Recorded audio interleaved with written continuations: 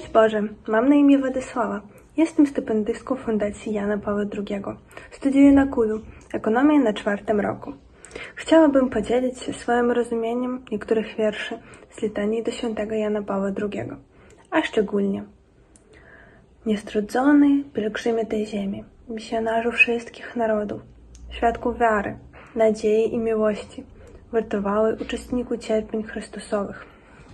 Gdybym charakteryzowała Jana Pawła II, opisałabym go szczególnie tymi słowami, ponieważ wiemy, jak dużo podróżował, jak dużo starał się o to, żeby przynieść Słowo Boże do różnych narodów, w różne kraje, dla różnych ludzi. Korzystamy z jego dzieła nawet po śmierci. Oraz wiemy, że w ostatnie lata życia walczył się z chorobą Parkinsona i nawet w ten czas starał się modlić, modlił się, wspierał ludzi w modlitwie, starał się o wsparcie wiary i chrześcijaństwa.